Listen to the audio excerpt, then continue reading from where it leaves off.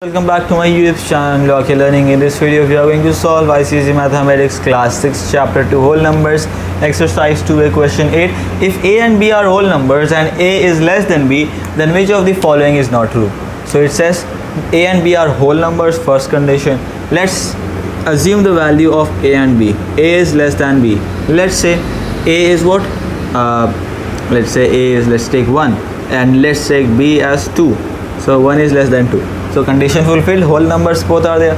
See if a plus first one is a is a plus 1 is less than b plus 1 see a plus 1 the a plus 1 is less than b plus 1 is this true or not?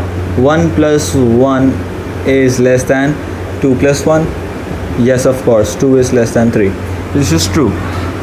Let's see second part uh, second one this is the a one right? Second option is what a minus 1 is less than b minus 1 so a again 1 minus 1 is less than b minus 1 let's take 2 minus 1 so 0 is less than 1 same this is also true. Now see the c part here. A into b is less than b into b. Let's see. 1 into 2 is less than 2 into 2 2 is less than 4 yes this is also correct. Now see d part this is a into a is what? Greater than a into b. 1 into 1 is greater than 1 into 2 that means 1 is greater than 2 this is not correct.